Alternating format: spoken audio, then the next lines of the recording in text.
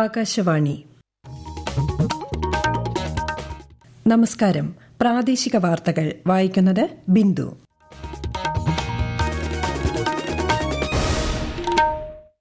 പ്രധാന വാർത്തകൾ ന്യൂഡൽഹിയിലെ പ്രഗതി മൈതാനിയിൽ നടക്കുന്ന ബയോടെക് സ്റ്റാർട്ടപ്പ് എക്സ്പോ പ്രധാനമന്ത്രി നരേന്ദ്രമോദി നാളെ ഉദ്ഘാടനം ചെയ്യും സ്വർണ്ണക്കടത്ത് കേസിൽ സ്വപ്ന സുരേഷിന്റെ വെളിപ്പെടുത്തലിന്റെ അടിസ്ഥാനത്തിൽ മുഖ്യമന്ത്രിയുടെ രാജി ആവശ്യപ്പെട്ട് സംസ്ഥാനത്ത് ആകെ പ്രതിഷേധം സംസ്ഥാനത്ത് നാളെ അർദ്ധരാത്രി മുതൽ ട്രോളിംഗ് നിരോധനം നിലവിൽ വരും ഇന്ത്യൻ വനിതാ ക്രിക്കറ്റ് ഇതിഹാസം മിതാലി രാജ് അന്താരാഷ്ട്ര ക്രിക്കറ്റിൽ നിന്നും വിരമിക്കൽ പ്രഖ്യാപിച്ചു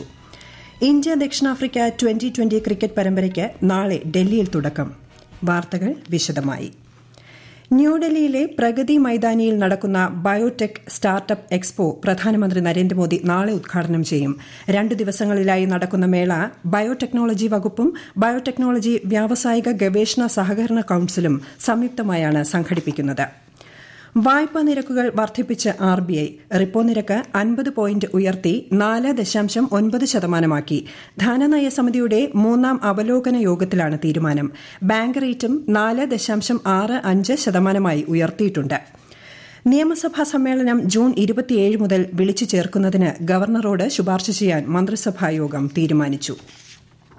സാങ്കേതിക വിദ്യാഭ്യാസ വകുപ്പിന് കീഴിലുള്ള ഇരുപത്തിയാറ് ടെക്നിക്കൽ ഹൈസ്കൂളുകളിലെ പാർട്ട് ടൈം മലയാളം അധ്യാപക തസ്തികകൾ സ്ഥിരം തസ്തികകളാക്കി മാറ്റുന്നതിന് ഇന്ന് ചേർന്ന മന്ത്രിസഭാ യോഗം അനുമതി നൽകി സുരക്ഷയ്ക്കായുള്ള പോലീസിന്റെ നിർബന്ധിത ചുമതലകൾ ഒഴികെ ദീർഘകാല അടിസ്ഥാനത്തിൽ സുരക്ഷാ സേവനം ആവശ്യപ്പെടുന്ന ആരാധനാലയങ്ങൾക്ക് സ്റ്റേറ്റ് ഇൻഡസ്ട്രിയൽ സെക്യൂരിറ്റി ഫോഴ്സ് മുഖേന സുരക്ഷ നൽകും വ്യാവസായിക സ്ഥാപനങ്ങൾ യൂണിറ്റുകൾ എന്നിവയ്ക്ക് സുരക്ഷ നൽകുമ്പോൾ ഈടാക്കുന്ന അതേ നിരക്കിൽ പേയ്മെന്റ് അടിസ്ഥാനത്തിലാണ് ഇത് നൽകുക പുറ്റിങ്ങൽ ദേവീക്ഷേത്ര വെടിക്കെട്ട് അപകടത്തിന്റെ വിചാരണയ്ക്കായി അഡീഷണൽ ഡിസ്ട്രിക്ട് ആന്റ് സെഷൻസ് കോടതി സ്ഥാപിക്കുന്നതിന് മന്ത്രിസഭ അനുമതി നൽകി ഇതിനായി പത്ത് തസ്തികകൾ സൃഷ്ടിക്കും പാലക്കാട് ചിറ്റൂർ മലബാർ ഡിസ്റ്റിലറി ലിമിറ്റഡിൽ സംസ്ഥാന ബിവറേജസ് കോർപ്പറേഷന്റെ ഫണ്ട് ഉപയോഗിച്ച് ഇന്ത്യൻ നിർമ്മിത വിദേശ മദ്യം ഉൽപ്പാദിപ്പിക്കുന്നതിന് five line I M F L compounding blending and bottling unit സ്ഥാപിക്കുന്നതിന് സർക്കാർ അനുമതി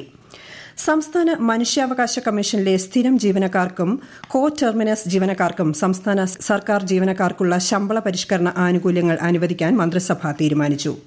വെജിറ്റബിൾ ആൻഡ് ഫ്രൂട്ട്സ് പ്രൊമോഷൻ കേരളയുടെ ചീഫ് എക്സിക്യൂട്ടീവ് ഓഫീസറായി വി ശിവരാമകൃഷ്ണന് പുനർനിയമനം നൽകും Kerala state remote sensing and environment സെന്ററിൽ സിസ്റ്റം മാനേജറുടെ ഒരു തസ്തിക സൃഷ്ടിക്കാൻ മന്ത്രിസഭാ യോഗത്തിൽ തീരുമാനമായി സംസ്ഥാന ചരക്കു സേവന നികുതി വകുപ്പിലെ അനലിറ്റിക്കൽ വിങ്ങിന്റെ ആവശ്യങ്ങൾ നിറവേറ്റുന്നതിന് ഡേറ്റ അനലിസ്റ്റ് റിസർച്ച് ഓഫീസർ എന്നീ താൽക്കാലിക തസ്തികയും സൃഷ്ടിക്കും സംസ്ഥാനത്ത് അൻപത്തിരണ്ട് ദിവസത്തെ ട്രോളിംഗ് നിരോധനം നാളെ അർദ്ധരാത്രി മുതൽ പ്രാബല്യത്തിൽ വരും ജൂലൈ മുപ്പത്തിയൊന്ന് വരെയാണ് നിരോധനം മത്സ്യത്തൊഴിലാളികൾക്ക് ആവശ്യമായ എല്ലാ സംവിധാനങ്ങളും ഒരുക്കാൻ മന്ത്രിസഭാ യോഗത്തിൽ തീരുമാനമായി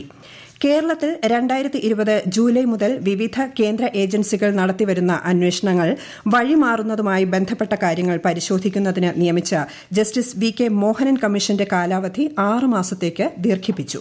ദേശീയ ന്യൂനപക്ഷ ധനകാര്യ വികസന കോർപ്പറേഷൻ ദേശീയ പട്ടികജാതി ധനകാര്യ വികസന കോർപ്പറേഷൻ എന്നിവയിൽ നിന്ന് കേരള കരകൌശല വികസന കോർപ്പറേഷന് സാമ്പത്തിക സഹായം ലഭ്യമാക്കുന്നതിന് പതിനഞ്ച് കോടി രൂപ വീതം മുപ്പത് കോടി രൂപയ്ക്ക് സർക്കാർ ഗ്യാരണ്ടി അനുവദിക്കും സംസ്ഥാന പട്ടികജാതി പട്ടികവർഗ വികസന കോർപ്പറേഷന്റെ അംഗീകൃത മൂലധനം ഇരുന്നൂറ് കോടി രൂപയിൽ നിന്ന് മുന്നൂറ് കോടി രൂപയാക്കി വർദ്ധിപ്പിക്കും കരകൌശല വികസന കോർപ്പറേഷന്റെ സർക്കാർ ലോൺ തുകയായ പതിനഞ്ച് ദശാംശം മൂന്ന് ഒന്ന് കോടി രൂപയും പലിശ ഇനത്തിലുള്ള തുകയായ പതിമൂന്ന് ദശാംശം ഏഴ് നാല് കോടി രൂപയും ഉൾപ്പെടെ ഇരുപത്തിയൊൻപത് ദശാംശം പൂജ്യം അഞ്ച് കോടി രൂപ സർക്കാർ ഓഹരി മൂലധനമാക്കി മാറ്റും ഈ വാർത്തകൾ ആകാശവാണിയിൽ നിന്ന്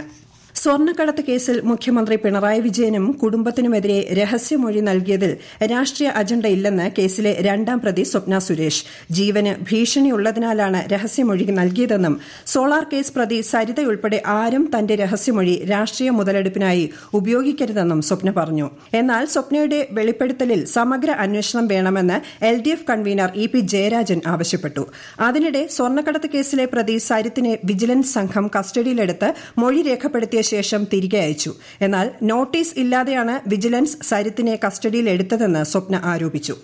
സ്വപ്ന സുരേഷ് ഉന്നയിച്ച ആരോപണങ്ങളിൽ കേന്ദ്ര ഏജൻസികൾ എന്ത് തീരുമാനമെടുക്കുമെന്ന് ഉറ്റുനോക്കുന്നതായി പ്രതിപക്ഷ നേതാവ് വി ഡി സതീശൻ കൊല്ലത്ത് പറഞ്ഞു ഉമ്മൻചാണ്ടിക്ക് ഒരു നീതി പിണറായിക്ക് മറ്റൊരു നീതി എന്നത് ഈ നാട്ടിൽ നടക്കില്ലെന്നും പിണറായി വിജയൻ മുഖ്യമന്ത്രി സ്ഥാനം രാജിവെക്കണമെന്നും അദ്ദേഹം ആവശ്യപ്പെട്ടു സ്വപ്നയുടെ വെളിപ്പെടുത്തലിന്റെ അടിസ്ഥാനത്തിൽ മുഖ്യമന്ത്രി പിണറായി വിജയൻ രാജിവെക്കണമെന്നാവശ്യപ്പെട്ട് യൂത്ത് കോൺഗ്രസ് പ്രവർത്തകർ പത്തനംതിട്ട കളക്ടറേറ്റിന് മുന്നിൽ ബിരിയാണി ചെമ്പുമായി മാർച്ചും ധർണയും നടത്തി വിവിധ ജില്ലകളിൽ സമാനമായ പ്രതിഷേധം അരങ്ങേറി മുഖ്യമന്ത്രി സ്ഥാനം ഒഴിയണമെന്ന് ബി ജെ പി സംസ്ഥാന പ്രസിഡന്റ് കെ സുരേന്ദ്രൻ പറഞ്ഞു മുഖ്യമന്ത്രി നിലപാട് വ്യക്തമാക്കണമെന്നും അദ്ദേഹം ആവശ്യപ്പെട്ടു